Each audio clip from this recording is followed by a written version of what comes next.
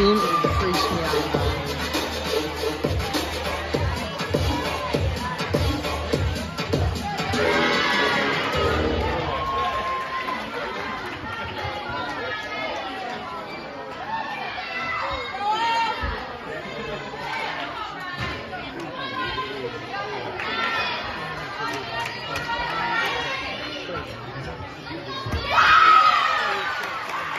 She's that's using a